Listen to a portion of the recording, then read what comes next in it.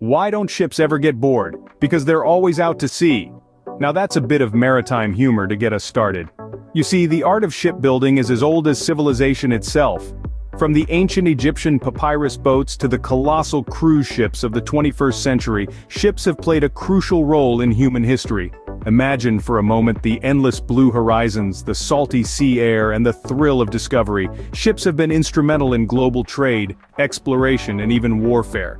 They've allowed us to reach the farthest corners of the earth, bridging continents and cultures.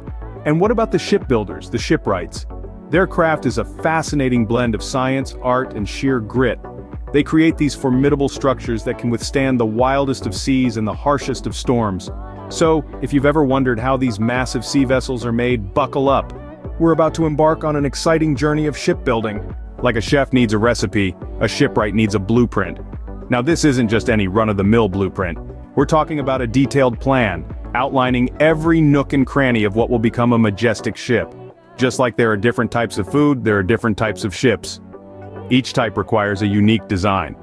You wouldn't use the blueprint for a fishing boat to build a cruise ship, would you? That'd be like using a recipe for pizza to bake a cake. And who are the masterminds behind these intricate designs? Naval architects.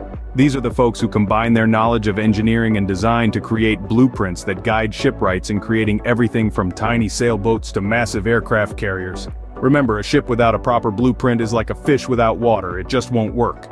Once we have our blueprint, it's time to give our ship some bones. Now, you might be thinking, bones? Ships have bones?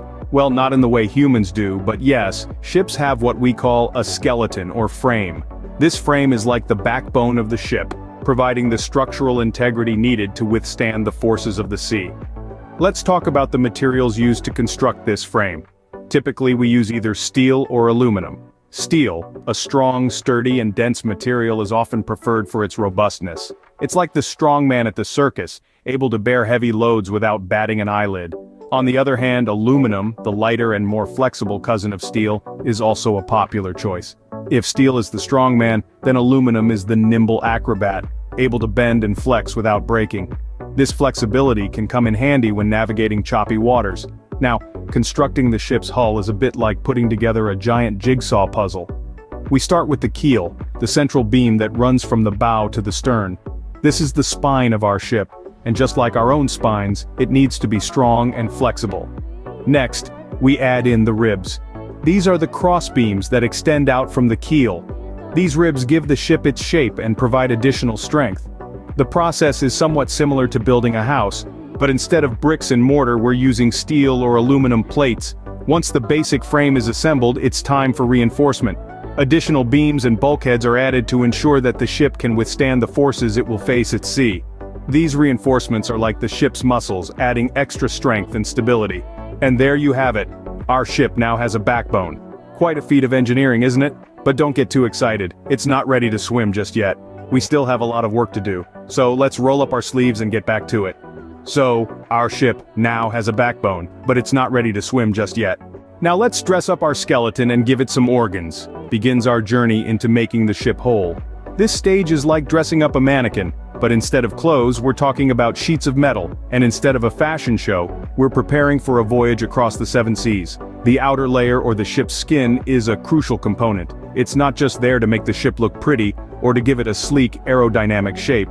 No my friends, it serves a far more vital purpose. The outer layer is the ship's first line of defense against the harsh elements of the sea. It's like the ship's personal superhero suit, protecting it from water, wind and even rogue sea monsters. Well, maybe not the last one, but you get the idea. But that's not all. The ship's skin also plays a pivotal role in buoyancy. You might be thinking, wait a minute, metal sinks, right? Well you're not wrong. But when this metal is shaped into a hollow form like our ship, it displaces enough water to stay afloat. It's a classic case of Archimedes' principle at work. Science for the win. Now that our ship has its superhero suit on, it's time to install some vital organs. We're talking about the engine, the navigation system, the living quarters and more. Each of these systems plays a crucial role in the ship's functionality. The engine for instance is like the ship's heart, pumping power throughout the vessel. The navigation system is the brain, guiding the ship safely through the waters. And the living quarters? Well, that's the ship's stomach, providing a place for the crew to refuel and recharge. As we wrap up this stage, our ship has transformed.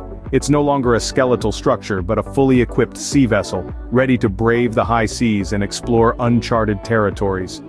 Voila! Our ship is now more than just a floating hunk of metal, it's a fully equipped sea vessel. There you have it folks, from a shipwright's folly to a maritime marvel, our ship is now ready to set sail. Now comes the fun part, the ship's maiden voyage. After the toil and sweat, the shipwrights give the vessel her final touches. A vibrant coat of paint here, an elegant nameplate there. She's not just a ship, she's a masterpiece, a floating canvas of human ingenuity. As the last drop of paint dries, the moment of truth arrives. The launching process begins. It's a sight to behold, a colossal structure sliding into the water for the very first time. It's like watching a baby bird take its first flight, only this bird is made of steel and weighs thousands of tons. Then comes the ship's first voyage, a crucial test for her seaworthiness. The shipwrights hold their breath as they watch their creation take on the open sea. It's a nerve-wracking yet exhilarating moment, a testament to the shipwright's skills and dedication. And there you have it, from a blueprint to a fully functional ship. It's quite a journey, isn't it?